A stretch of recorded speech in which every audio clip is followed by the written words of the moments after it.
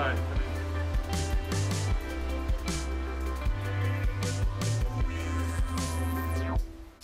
my name's Martin Johnson. I um, haven't. Uh, I'm an amputee. I lost my leg in an accident with a glass door when I was 14. Recently, been plagued by recurrent infections through a sinus in my stump, my residual limb, and my specialist recommended um, cutting that open um, and leaving it to heal from the inside, necessitating a vacuum dressing.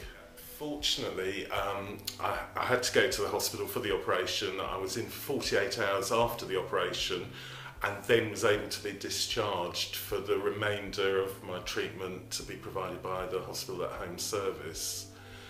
Um, they came in on a, they came to meet me in hospital in the first place, explained what they would provide, and then for the next several weeks, probably six to eight weeks, visited me on a, um, well, at least three times a week for dressing changes.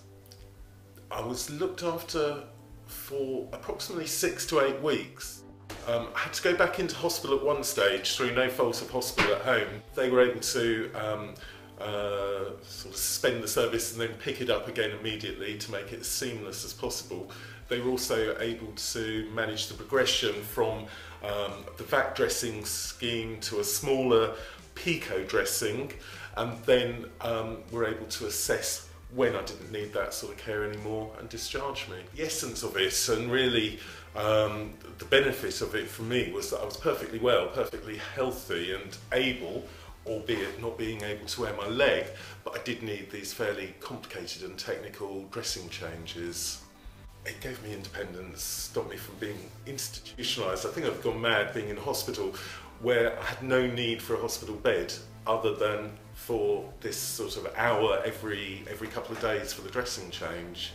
Um, I was able to uh, um, get out and about. I was able to stay with friends. The hospital at home service was really flexible, so they would come and see me if I was staying with friends who were cooking and looking after me in that way, or they'd come to my home. There were nurses um, and healthcare assistants. Uh, I saw a range of different nurses, but they were all fantastic, all really clinically uh, capable and um, knew what they were doing.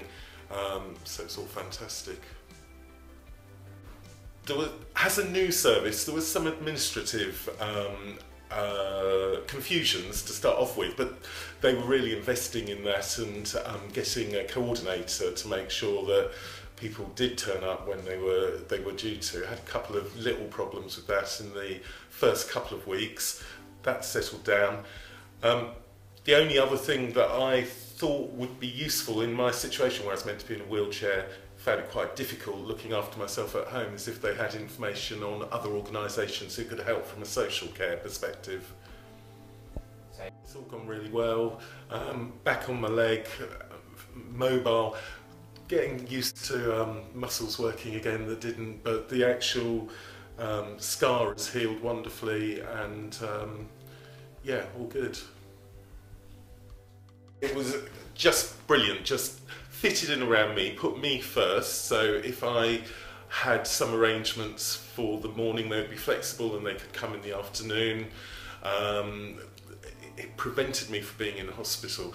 My understanding is that if I'd had the operation before October of last year, I'd been in hospital for a good six to eight weeks, only having that dressing change once every couple of days. So it'd been a real waste of my time, real waste of the NHS's time.